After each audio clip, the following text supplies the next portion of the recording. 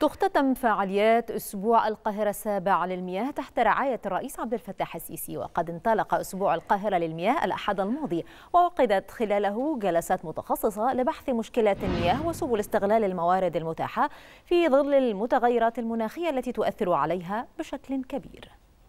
كل عام وعلينا أن أن نوفر المياه حتى نؤمن مستقبل هؤلاء الناس. إذا الحفاظ على المياه ليس هو الحل بل أننا سنعيد تدوير المياه وسنحلي مزيد من المياه وسنعالج مزيد من المياه ولكن علينا أيضا أن ندخر المياه علينا أن ننتج مزيد من المحاصيل بأقل كمية من المياه علينا أن نحافظ على المياه من خلال الاستهلاك اليومي في المنزل. وكانت هذه هي الرسالة.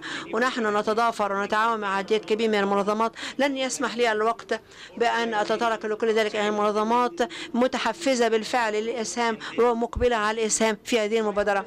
أما بالنسبة للزيارات الجانبية بعض من الضيوف الأجانب زاروا مواقع مختلفة في الدولة في البلد. الأمر لم يقتصر فقط على الجلسات والمكوث في التكييف بل, بل تمكنوا من الخروج وزاروا مواقع مختلفة والانتقال من موقع آخر في الدولة.